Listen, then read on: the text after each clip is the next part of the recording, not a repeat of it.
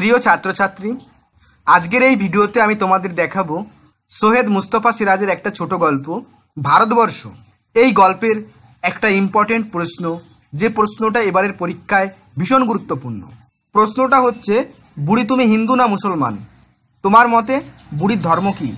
ছাত্রছাত্রীদের কাছে আমার একটাই রিকোয়েস্ট ভিডিওটি ভালো লাগলে লাইক করবে এবং তোমার বন্ধুদের সঙ্গে অবশ্যই শেয়ার করবে।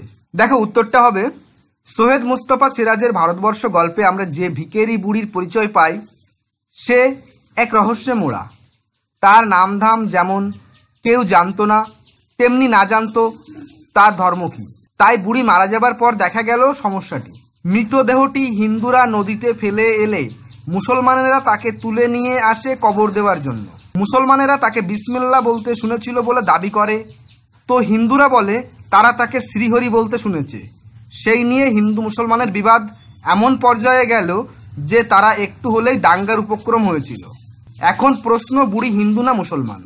তারপরে দেখা গেল, সকলকে অবাক করে দিয়ে বুড়ি যখন চ্যাংদোলা থেকে উঠে বসল, বুড়িকে জ্যান্ত দেখে একজন বুড়ির কাছেই জানতে চাইলো, সে কোন ধর্মের? তাতে বুড়ি যে উত্তর দিয়েছিল, তাতে রহস্য যেন আরও ঘন হলো। সকলকে মিনসে শকুন চোখা নরক্ষেকো বলে বুড়ি গাল দিয়ে চলে গিয়েছিল। জানা গেল না বুড়ির আসল ধর্ম। তাই মনে হয় বুড়ির ধর্ম হিন্দুও নয়, মুসলমানও নয়। সকল ধর্মের ঊর্ধ্বে যে ধর্ম, সেই মানবতাই হলো বুড়ির ধর্ম। এই গল্পে বুড়ি হলো সমস্ত রকম সাম্প্রদায়িকতার ঊর্ধ্বে একজন সাধারণ মানুষ।